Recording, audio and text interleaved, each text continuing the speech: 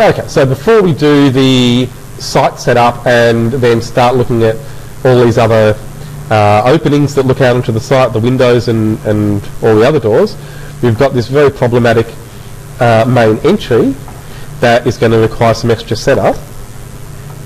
And so uh, before I can even put a door in there actually, I'm going to adjust this wall so that uh, I can make it have the extra thickness I want just in this portion here and only on this level.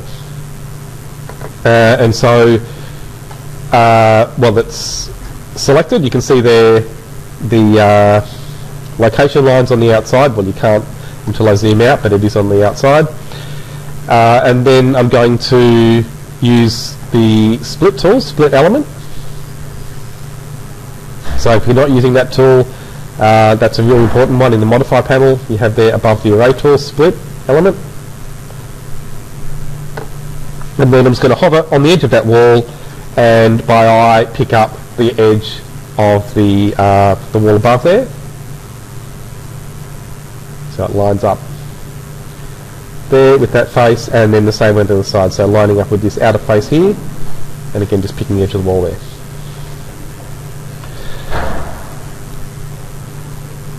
Okay, so now I'm going to select that wall and change the top constraint to level 1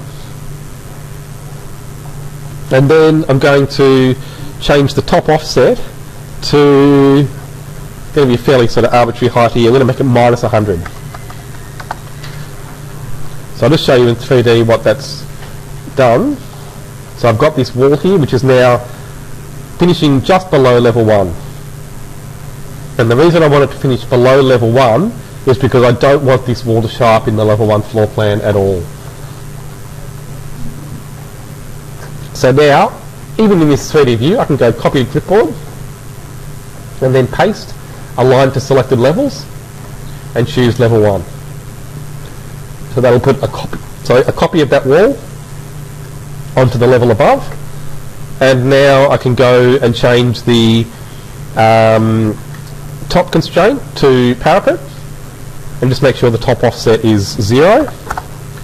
So basically I've added in the section of wall above the one I've made and I'm going to change the base offset there to minus 100 so that the bottom joins with the top of the wall underneath. So basically what I have now is a separate section of wall there that I can modify and give a different thickness. Okay, so I know it might seem like a bit of a process, but you just got to get used to that when you need to have walls changing thickness. I can join these at the top here to make that a bit cleaner. And so then again, can select this wall, and it's an extra 1050 we need to add. So I'm going to go to edit type, duplicate, and so my new thickness is going to be 1350. Edit, change that.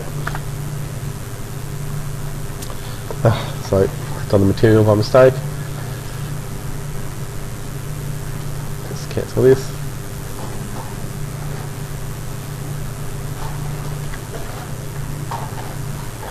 Okay, so because it's on finished face exterior, that extra thickness should go towards the inside. And I've added too much, so what have I done? Extra 300 there. Oh, so I must have been, yeah, so 1,050 altogether, not 1,050 extra. No problem, I can just go rename and 1050, not 1350.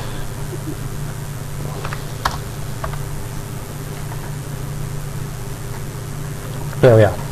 So I've got now the wall lining up correctly and if I go to this plan when it's all black of course that's looking way it should. So now to do the first part of this cutaway I'm going to put a draw in and I really just need to make sure it's the right size so I might just measure that size off the plan. So from the outside of the door jamb it's let's say 9 970, 950, something like that. So I'm use a door and load family. I'm going to get an Australian door. That M single flush is not.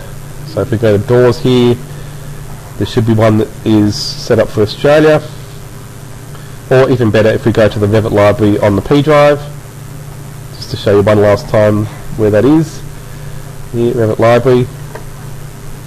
And then doors, got a lot more to choose from there. And we should be able to find something similar to the real door. Does anyone uh, remember what sort of entry it has? Big steel door? Oh, perfect. Okay. Easy. So we'll use the steel framed.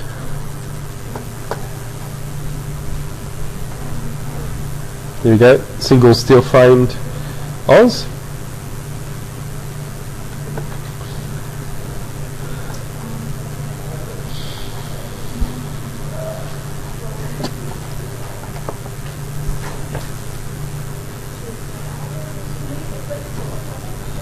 Of course, yes, just copy the folder. It's big, so it's about 5 gig. If you're thinking about copying it, it'll take 20 minutes or something.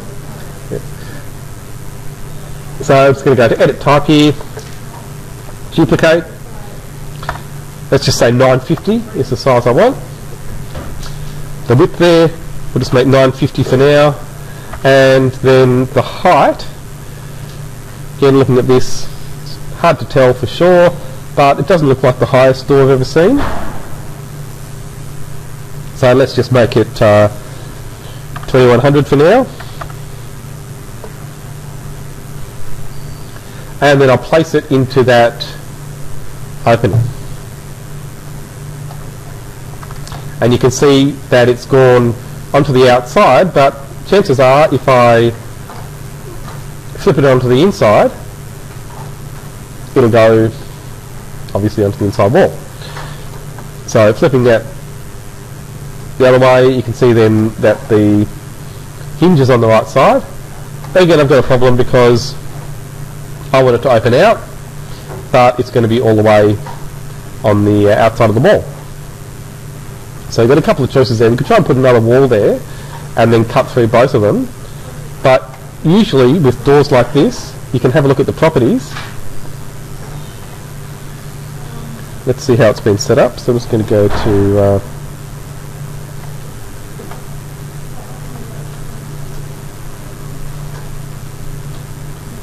So I'm just going to actually go to edit family and have a look at the uh, door family.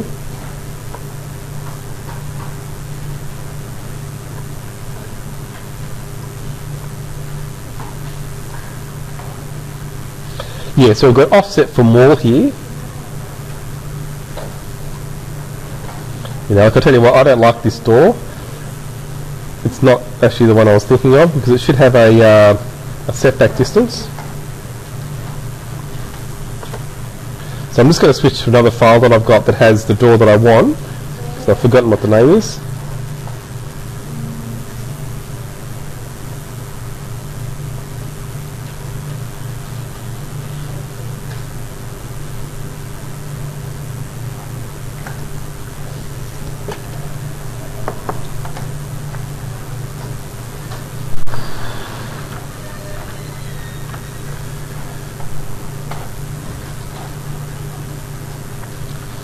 That's it, concept. Okay. So about that. So let's just do that again. Okay, so I'm just going to select that door and then go to edit type and you can use this whenever you want to change a family to something else. Go to edit type and you can just use load and then choose a different family. So that's the one I want. We can easily change that material to steel. There we are, that's better. So I don't want the jamb changing thickness essentially. And that's turned up in a pretty good position without me doing anything much. Okay, so now all I need to do is cut away that, um, that angled section. And this is probably the most interesting part. I'm going to use model in place. So you're probably used to using that to make solids, extrusions and revolves and sweeps and other things. So what might not be obvious is that you can use it to make voids that cut almost anything else. So walls and floors, you can cut away anything you need to using the same method. So I'm just going to go here again to model in place. I'll set the category to walls. The category, uh, so the name, I might call it uh, entry void. And then under void forms, I'll go to void extrusion. And then I'm just going to draw, basically by tracing the plan, where I want the wall to be cut away.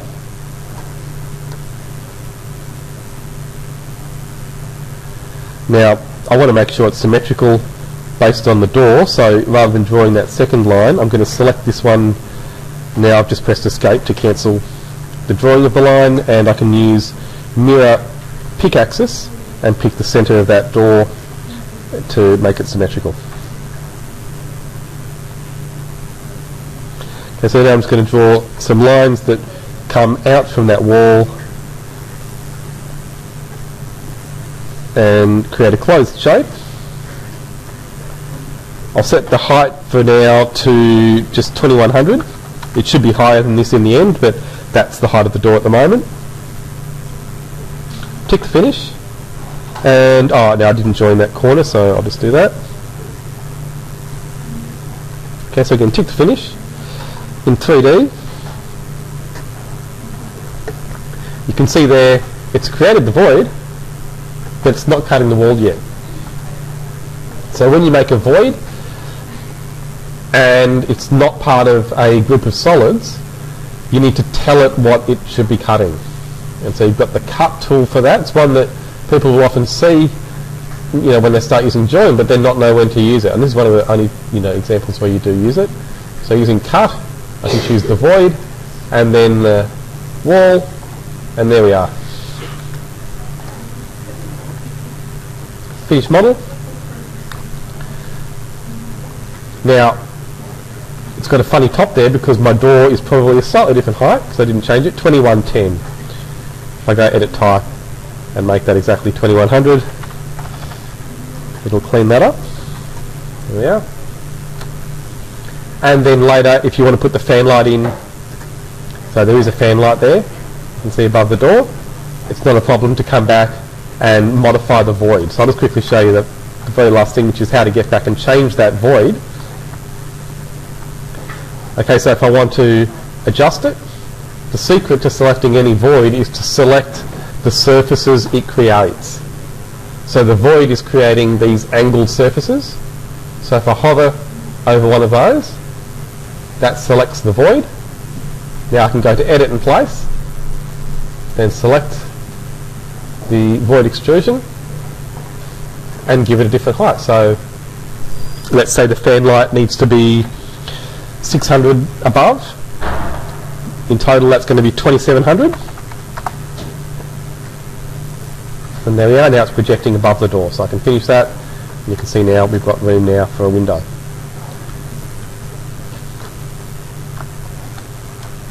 Okay, so that's that's all there is to it really. So it can open up a lot of possibilities. Once you know you can create voids in any wall, and you can use that for lots of interior applications, alcoves, recessed um, you know, sections in your walls. It's good for lighting, all sorts of things when you just want to cut away part of your wall and have a hole in it essentially.